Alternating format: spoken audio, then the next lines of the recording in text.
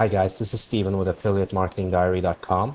Thank you very much for watching this video. In this video, I will actually uh, show you guys how to create a Blogger blog from scratch. Very simple procedure. As it says, create the blog in three easy steps. So let's go ahead and uh, just click on this button and uh, fill out the appropriate data. So uh,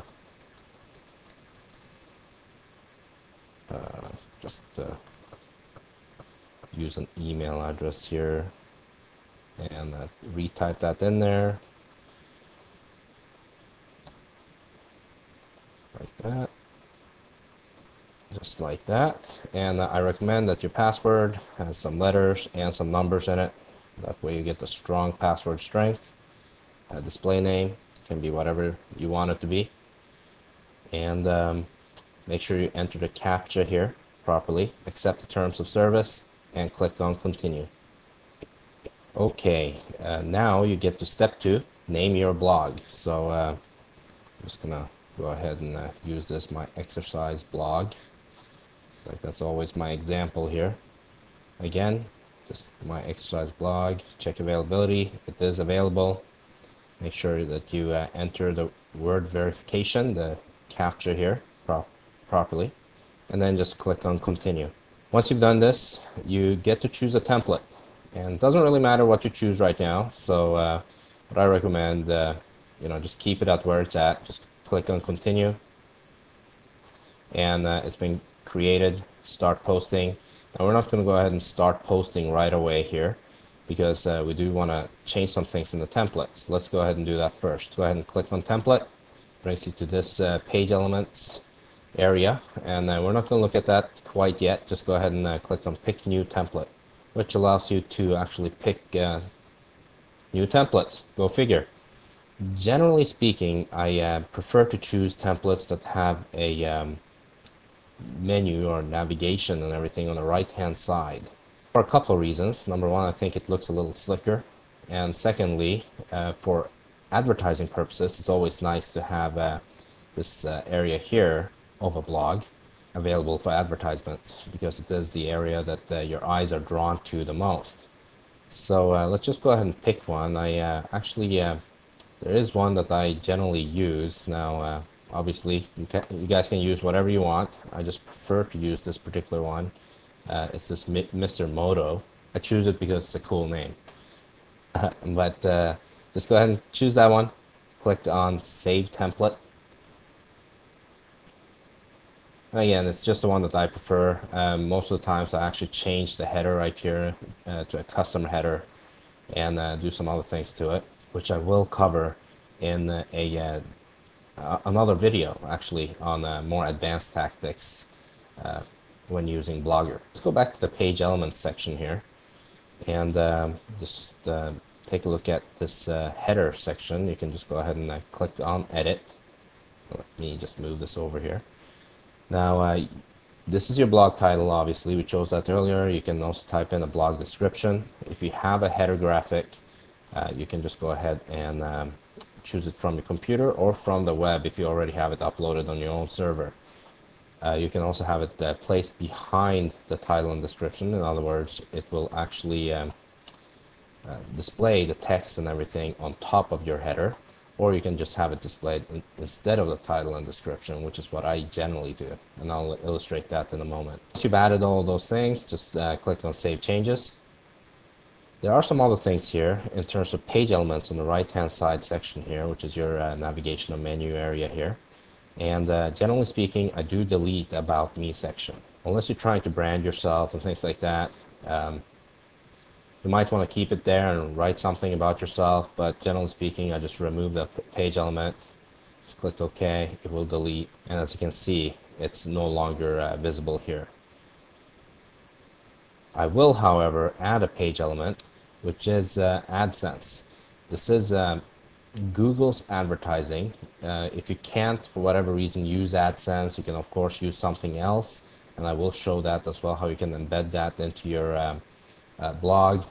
Uh, if you do have an AdSense account, it's very easy to uh, do this in Blogger. So just go ahead and add to blog. If you don't have an AdSense account, you can create one. if you already have one, you can just go ahead and enter it here uh, with your zip code or your phone number. You can change the format here. Um, generally on the right hand side I'll use the vertical wide banner here. as you can see uh, this is using a blended template. You can also customize it. You can use uh, anything else, you know, match template, Mother Earth. I mean, you can use whatever um, you want. It gives you an example on the preview down here. Uh, at the moment, I generally in the beginning will go with a blended template and uh, just go ahead and save your changes. And now you see you have uh, this added to your um, uh, navigation section there on the right hand side. You can, by the way, switch these around if you wanted to. It's just uh, widgets, so you can just drag and change these just like in WordPress, the sidebar widgets in WordPress.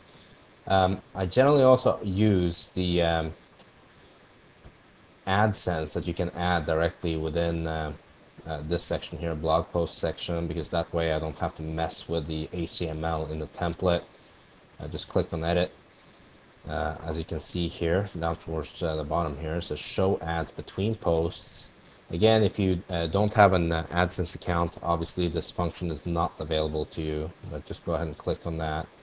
Uh, you can configure inline ads. Generally I will set it to three or five depending on how many posts that I have on the main page here. I generally keep it to seven to ten. If it's seven uh, I generally set this up to show every three times. That way actually there's a very practical reason for that.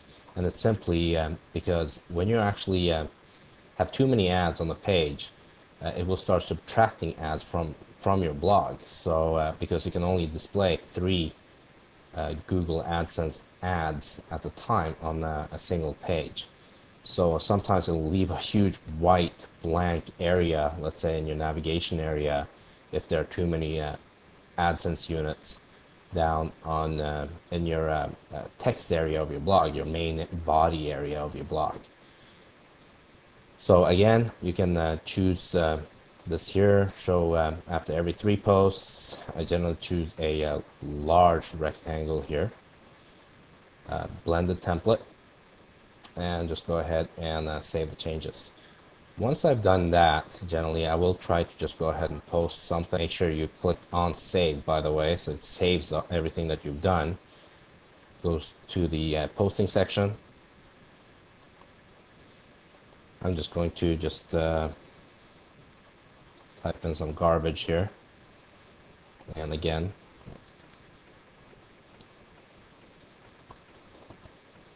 and then just go ahead and uh, add tags Tags are really for the uh, blog search engines um, so that they can categorize your posts. So uh, generally speaking, if this is uh, this was about, uh, let's say, um, some kind of a uh, weight loss supplement, you might want to put weight loss supplement, maybe the brand, uh, some other relevant keywords in here, and then just go ahead and publish post.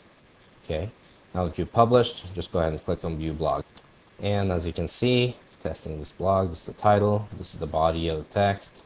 This is the blended ad below the text. This is uh, obviously the AdSense unit in your na uh, navigation uh, area, sidebar, if you will. And um, this is your uh, post right here. So you can go directly to your post. It's going to show pretty much the same thing. Just to show you an example of a blogger blog, uh, this is one that I set up a couple of days ago for my trend marketing case study. Uh, it's about movies and celebrities and things like that. And uh, as you can see here on the right hand side, there's uh, the advertisement here. Uh, this is the body. I also embedded a YouTube video. Uh, you see the advertisements down here and all of my posts down here and it just goes on and on. So uh, that's about it for this particular video. I hope it was helpful and I hope to see you guys again in my next video. In the interim, be sure to visit my blog at www.affiliatemarketingdiary.com. Thank you very much. Talk to you soon.